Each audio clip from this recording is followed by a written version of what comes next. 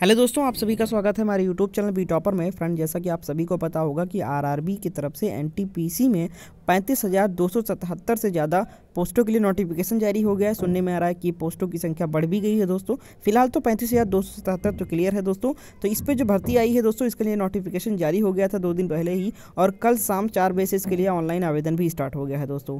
ऐसे में इस साल ट्वेल्थ प्लस ट्वेल्थ का एग्ज़ाम कुछ बहुत सारे बच्चे दे रहे हैं और बहुत से लोग ग्रेजुएशन का एग्ज़ाम है इस बार फाइनल ईयर और इसमें जो पोस्टों की क्राइटेरिया एजुकेशनल एलिजिबिलिटी लगाई गई है, वो ट्वेल्थ के लिए कुछ पोस्टें हैं कुछ पोस्टों पोस्टें ग्रेजुएट ग्रेजुएट के लिए। तो जो लोग इस साल अपेयरिंग में हैं, वो लोग सोच रहे हैं कि इतना बड़ा चांस गोल्डन चांस है, क्या हम इस पर आवेदन कर सकते हैं या हम इस बार चूक जाएँगे? तो ऐसे में बहुत सारे बच्चे पूछ रहे हैं कि क्या ट्वेल्थ अपेयरिंग या ग्रेजुएशन अपेयरिंग वाले बैठ सकते हैं या आप ऑनलाइन आवेदन कर सकते हैं दोस्तों। तो ये बहुत सारा, बहुत बार पूछा गया प्रश्न। तो इसी का उत्तर मैं आपको इस वीडियो में देने वाला हूँ दोस्तों। अगर वीडियो पसंद आए तो फिर वीडियो को लाइक करके शेयर कीजिएगा दोस्तों।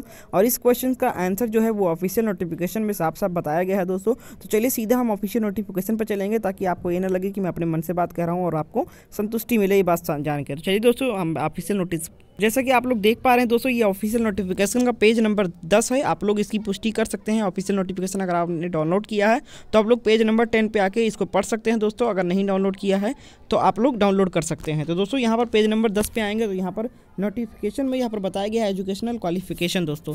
यहाँ पर साफ़ साफ़ बताया गया है candidate should have requisite minimum educational qualification indicate for post in annexure A of this CEN from recognized board university institute as on the closing date for online registration यानी कि जो क्राइटेरिया रखा गया है दोस्तों एजुकेशनल क्वालिफिकेशन एलिजिबिलिटी जो रखी गई है ट्वेल्थ और ग्रेजुएशन दोस्तों, वो यहाँ पर इस भर्ती की जो अंतिम तिथि है आवेदन करने की दोस्तों, उससे पहले पहले आपका फाइनल हो जाना चाहिए, यानी कि रिज़ल्ट डिक्लेयर हो जाना चाहिए कि आप पास हैं कि फेल हैं दोस्तों। ठीक है, यानी कि जो इकतीस तारीख, इकतीस मार्च लास्ट डेट है इस फॉर्म का दोस्तों, उससे पहले पहले आपका फाइनल रिज़ल्ट आ जाना चाहिए और आपका पता चल जाना चाहिए कि आप पास हैं या फेल हैं। अगर ऐसा संभव है कि हाँ इकतीस से पहले आ जाएगा तो आप अप्लाई कर सकते हैं दोस्तों, वरना यहाँ पर साफ़ साफ़ कहा गया है those awaiting result of the final examination of the prescribed minimum education qualified should not apply, ठीक है? ऐसे बच्चे, ऐसे कैंडिडेट जो जिनका रिज़ल्ट अवेटिंग है, इंतज़ार में है, या आगे अभी एग्ज़ाम चल रहा है, आगे रिज़ल्ट कब आ रहा है, दो महीने, तीन महीने बाद आ रहा है, फाइनल ईयर का तो वो लोग अप्लाई नहीं कर सकते हैं, ठीक है? यहाँ पर साफ़ साफ़ कहा गया है दोस्तों, अगर आपका इकतीस मार्च से पहले रिज़ल्ट आ गया है, या रिज़ल्ट आने वाला है इकतीस मार्च से पहले आ जाएगा तो आप लोग कभी भी अप्लाई कर सकते हैं दोस्तों।